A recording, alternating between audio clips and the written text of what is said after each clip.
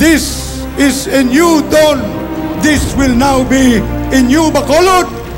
We will have new faces in City Hall. Butuhan nyo ang bilog na slate sa pamilya MKK.